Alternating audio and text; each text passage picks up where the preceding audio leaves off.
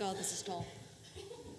Uh, before I begin, I'd like to give a trigger warning for uh, death of a family member and mentions of hospitals. So if you need to step out, please feel free to do so now.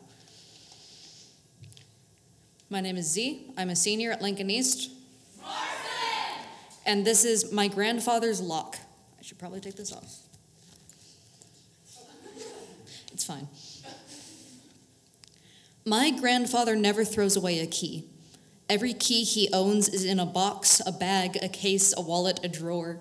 Keys to trucks long since returned, keys to suitcases tucked away in the garage, keys to doors hundreds of miles away, keys to padlocks stashed around the house. We've spent hours sitting in his room surrounded by keys. I find padlocks and search for the right key to open it. I always feel incredibly accomplished when I match the pair. I feel as if I am finding the secret words that will help my grandfather to open up, let his past spill from his mouth, the stories of war helping him to empty his mind of trauma and horror. The only way to clean a rusty lock is to get it open first. Most people say that the lock is the question and the key is the answer, but this feels different.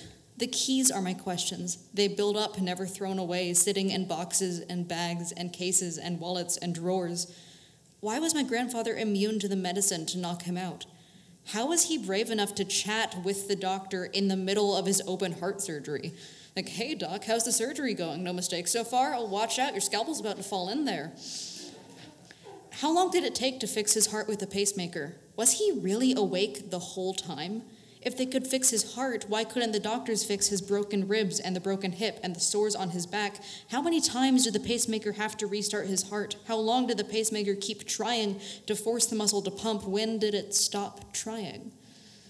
So many questions, only a few locks, only a few answers. He was immune to the medicine because that's how his body works. The doctors wouldn't operate on him because they were scared that if his heart stopped, they wouldn't be able to save him. That's what the pacemaker was for. The pacemaker was supposed to save him. The pacemaker couldn't save him.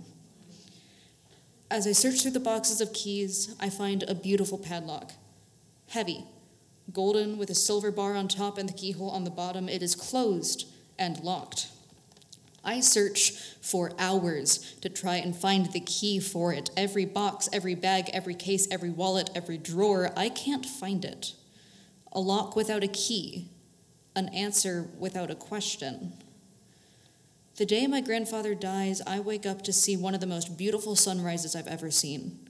The sky is orange, pink, lavender. My grandfather's, the, the clouds are tinted peach and mango. My grandfather's shaking hands had spilled his juice, and the clouds soaked it up as a sponge. My mother and I marvel at the streaks and don't think about why. It is an answer without a question, the unheard question that we don't know we have to ask, the missing key to a golden lock. My grandfather never threw away a key. He never threw away a question. I will never throw away a lock whether or not it has a key, whether or not you ask the question.